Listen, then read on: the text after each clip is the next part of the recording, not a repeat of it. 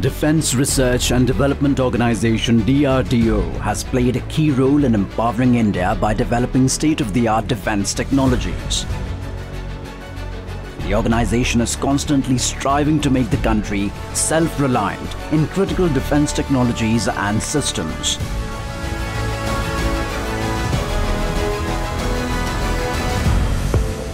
This series, now DRDO and All India Council for Technical Education have started an MTech program in defense technology.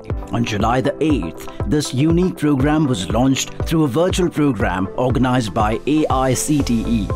Now, this program can also be made available in institutes, universities, IITs, NITs, and private engineering institutes affiliated to AICTE. This new field will motivate aspiring engineers to start their career in defense technology. We have 1000 odd universities, you know, around 10,000 technical institutions, another 40,000 arts, commerce, science colleges, and nowhere there is any defense technology being taught. So we decided we must create a curriculum, we must provide support for our faculty to teach these courses and that's how DRDO, AICT came together and we signed an MOU. Just recently we, we had launch of uh, six new programs in defense technology. And these are all very, very important for armed forces, be it uh, Army, Navy and Air Force. We joined together, the curriculum was revised and then we have given six different MTech programs and many institutions are now coming forward to adopt them and then start MTech programs. Currently, six special streams have been kept under this course, which include areas like combat technology, aeronautics technology, naval technology, communication systems and sensors, directed energy, and high energy materials technology. The MTech program in defense technology will enable the students to work in the defense industry and also prepare them at par with the public sector undertakings and private companies. DRDO's laboratories spread across the country work in areas such as aeronautics, armament, electronics, combat vehicles, engineering systems, instrumentation, missiles, advanced computing and simulation, special materials, naval systems, life sciences, information and communication systems for the defense sector.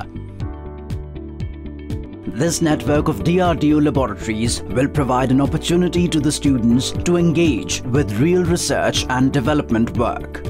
The MTech course has been designed to produce postgraduates who will have the necessary theoretical and experimental knowledge, skill and aptitude in various areas related to defense technology engineering graduates will be able to apply for this course. The course will be made available in both online and offline formats in various scientific and educational institutions of the country.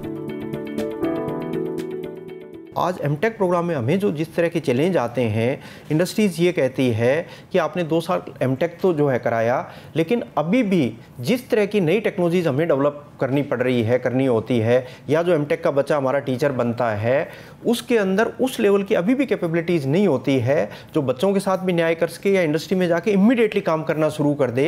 तो ये सबसे इस तरह की बड़ी शुरुआत है कि उनकी जो अपेक्षाएँ हैं डीआरडीओ की, उनके जो जो डेवलपमेंट के काम चल रहे हैं रिसर्च के काम चल रहे हैं उसमें पहले दिन से उनकी सहभागिता हो जाएगी और क्वालिटी स्टूडेंट्स हम जो है उनको देंगे। और ये तो सिर्फ़ छः एरियाज़ ही हैं। और बावन लेबोरेटरी जो देश में जो देश में डीआरडीओ की उनका करीब करीब स्पेशलाइजेशन अलग अलग है। हो सकता है आने वाले टाइम में हम इसको एक्सपांड करें और हर एरिया के लिए बच्चे हम जो है उनको देंगे। The course will give students valuable exposure and equip them with knowledge about various state-of-the-art defense systems and contemporary technologies. The students will also be able to conduct their main thesis work in DRDO labs, defense PSUs and private defense sector companies. So far, the engineering education in the country has had very limited scope for imparting knowledge related to defense and security applications, and there has been a direct shortage of educated and trained human resource in this sector.